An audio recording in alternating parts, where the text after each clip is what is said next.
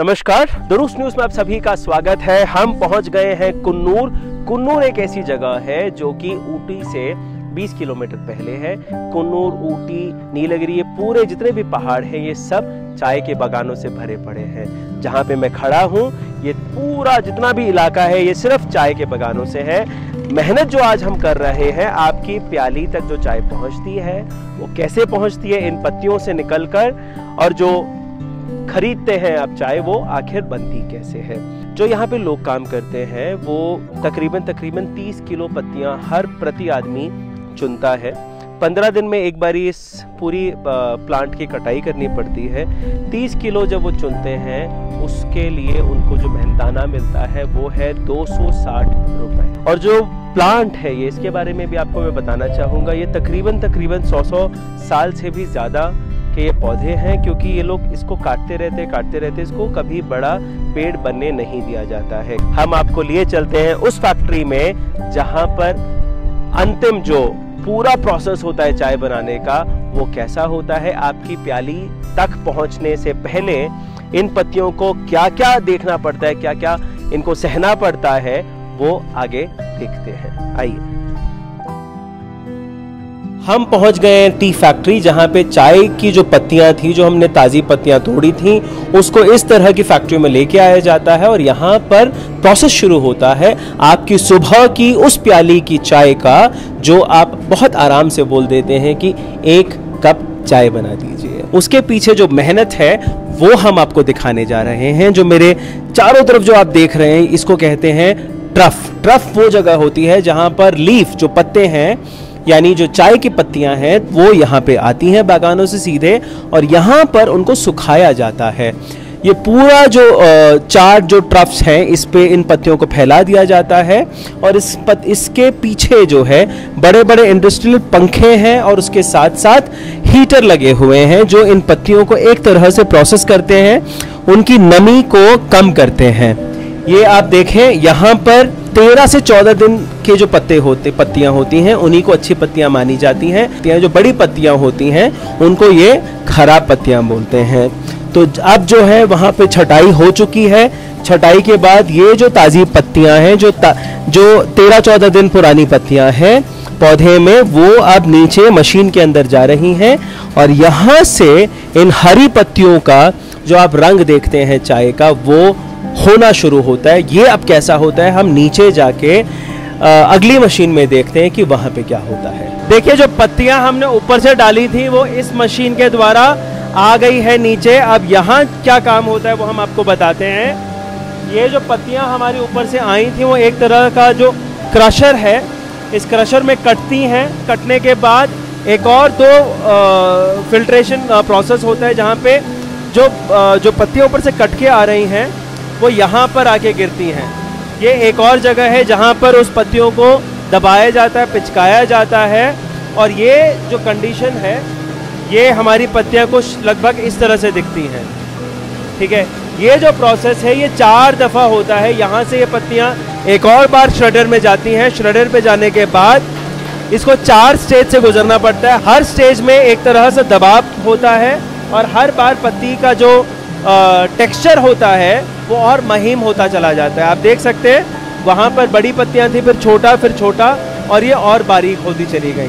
चौथे स्टेज में जब ये पहुँचती है, तब इसको एक बेल्ट के ज़रिए यहाँ पर एक बड़ा सा सिलेंड्रिकल छन्नी की तरह है जो आप देख पा रहे हैं। इसमें इसको सुखाया जाता है ड्रायर कहते हैं इसको, बहुत बड़ा एक ड्रम है, जिसके अंदर वो पिसी हुई जो पत्तियाँ थी, उन पत्तियों को सुखाया जाता है। जब ये एक तरह से लगभग इसकी नमी जब निकल जाती है तो आप देख सकते हैं ये थोड़ा थोड़ा सा भुरभुरा सा हो जाता है। अच्छा यहाँ से ये जो पत्तियाँ हैं, ये इस बेल्ट के ज़रिए फर्मेंटेशन प्रोसेस के लिए जाती हैं। फर्मेंटेशन जो है, तकरीबन दो घंटे के लिए यहाँ पे फर्मेंट करना पड़ता है और ये फिर बेल्ट के द्वारा वहाँ से एक एक पतली सी लाइन सी बन जाती है। फर्मेंटेशन का मतलब बस यही है, इसको थोड़ा सा और जैसे आप खमीर उठाते हैं, किसी भी आटे में, उस तरह से चाय की पत्तियों में भी खमीर उठाया जाता है। ठीक है, पत्तियों का रंग जो है धीरे धीरे बदलने लगता है और यहाँ से जब ये फर्मेंट हो जाता है तो जो आखिरी स्टेज होता है, दो घंटे के बाद, हमें कुछ कुछ पत्तियों का रंग ब्राउन दिखने लगता है, हरे से ब्राउन हो जाता है। ठीक है, लेकिन अभी भी जो मैं देख पा रहा हूँ, ये गीली है और जिसमें खुशबू बिल्कुल नहीं है। तो अभी भी ये पत्तियाँ जो है गीली हैं।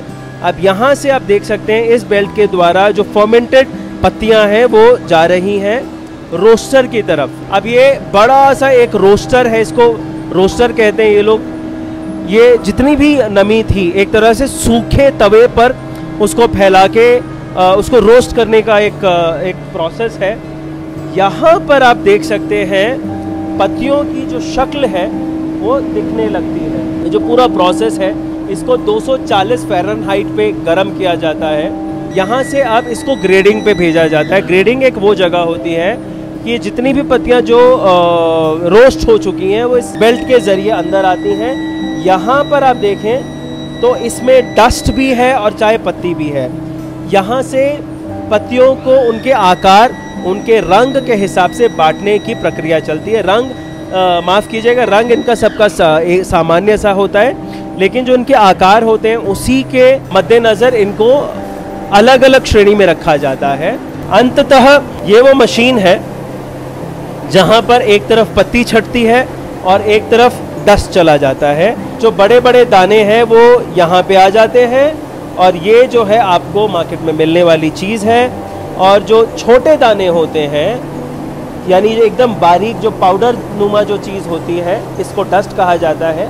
ये वो है। तो इसके बाद जो इसके, इससे भी जो बड़े पत्ते होते हैं, इनको चार उसमें बांटा गया है। पहला, दूसरा, तीसरा और चौथा। यानी जो सबसे महीम है वो ये है। आप देख सकते हैं ये दाने। इसके बाद इसी तरह से साइज़ के हिसाब से अलग अलग अलग अलग पत्तियाँ बनती हैं।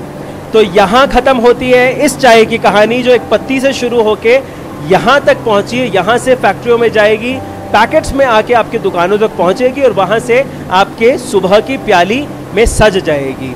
वो जो सामने आप पहाड़ देख रहे हैं, वहाँ पर इस चाय की शुरुआत हुई थी, यानी वहाँ से हमने सुबह जो है चाय की पत्तियाँ तोड़ी थी। उन पत्तियों का जो सफ़र है, वो धीरे धीरे फैक्ट्री में आके रुकता है। फैक्ट्री में उनकी छटाई होती है, कटाई होती है, उनको तमाम तरह के प्रोसेस से गुजरना पड़ता है और तब जाके हमें चाय मिलती है और वो चाय है ये।